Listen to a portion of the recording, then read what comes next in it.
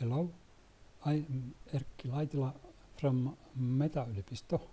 I will here introduce how Meta-yliopisto can make possible from impossible using system systemic principles and reasoning, providing that the relevant systemic conditions rules.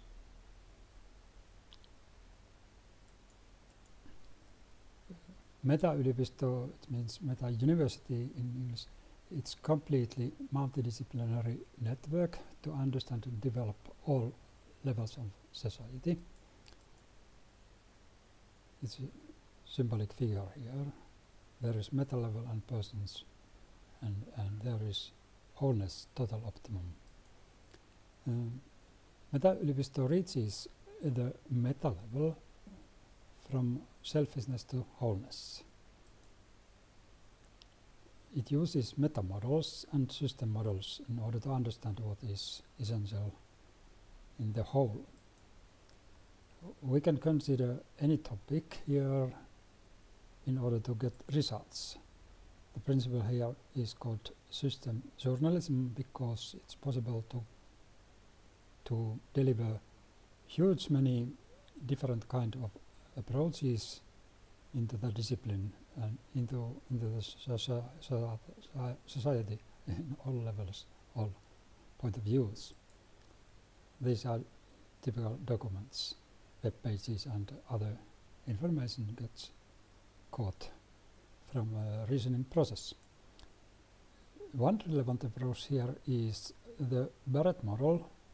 It defines the consciousness of a person from survival into service, which is the highest level. The purpose of the society should be to go from survival to service, global service to humanity. And the meta level here is, it means transformation, it's at the center, le level 4 here, it means continuous revival and learning, adaptability, innovation and teamwork. And above it are the most important parts of the working and good culture. Uh, how can systems teach us? Mm, th there is there are many principles of systems thinking. They are taught at school in USA, studying in the preliminary school even, and to the pupils they are it is introduced habits of systems thinking, resources uh, and material and, and so on, how they can become to work as systems thinking at school and in their work in future. Then a wider approach here is system theory, it's scientific and cybernetics, it means control and skills of systems and they are a lot theoretical, more theoretical than this search approach. Search approach. Then systems thinking is figured in this picture here. There is reality, knowledge and observation to be understood. In the meta-yliopisto way, there are some uh, good practices of how to present organizations and any parts of society.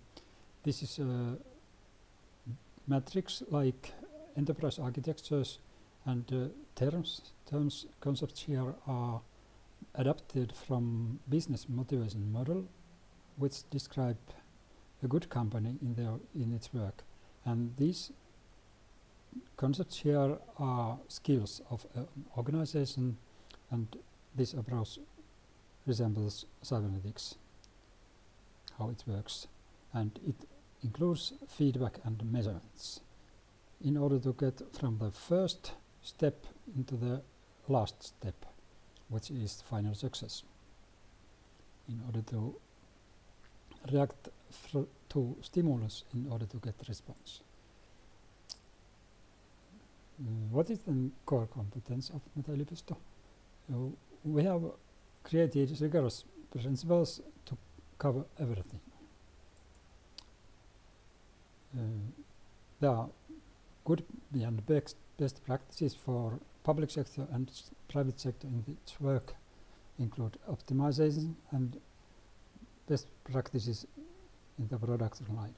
And then we have created and found best ways to explain anything which include systems thinking, system theory and so on. And then the final clue here is how to create a better world but it starts from a human because systems and today systems are normally passive and human is the most important active element in this in the society. Uh, scientific evidence here is based uh, viable system model which is cybernetics. It relates to management cybernetics also defining skills for systems to work viably. Metaverse principle how to understand how to create better society is it starts from need hierarchy, Maslow's hierarchy need, and it includes aspects of to hard systems, technology and soft systems, which defines ideals for society. And then output of this process is cultural consciousness which should improve in order to get better society. Mm. I've written two books about this topic. Is just uh, how to how we can compare systems thinking with traditional business as usual thinking. And another is how to develop society or how develop society is developing. There is an example how to develop Finland sector sector by sector or minister by minister. In this book there are a couple of mm, tens of societal models about all levels and then this is an example of uh, electricity network. Finland electricity infrastructure is uh, part of energy infrastructure and it can be modeled by using this five level viable system model uh, created by Stafford Beer and and his colleagues. It can be created in into this kind of organization model there is a head and there is there are sectors in order to control the system like here and in order to optimize and in order to create understanding to the future time series analysis. And there is a leader to master future activities. And in real time there is input uh, demand and output supply and there is automation transformation process in order to get input and output to respond. Each other. There are uh, many theories, many presenters who who, describe this interesting side viable system model. This is universal management principle and it uses this model which is in the cover of my book and it's here in the in a different way but the same logic here it defines what is input and output as their relations what is the management here how can impossible change to be possible we should go from debates to agreements we should create a clear strategy built on identity of the system. We should evaluate high the resources in order to get supply and demand to respond each other. Uh, we should go into leadership instead of management in order to complete the levels S1 to S5. Then uh, we in Meta Yliopisto evaluate system thinking and system theory high and especially the viable, viability of system in order to understand which systems are valid and which are not.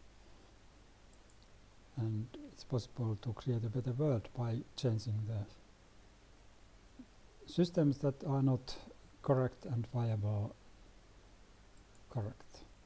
Thank you for interest and welcome to these pages also later. Bye.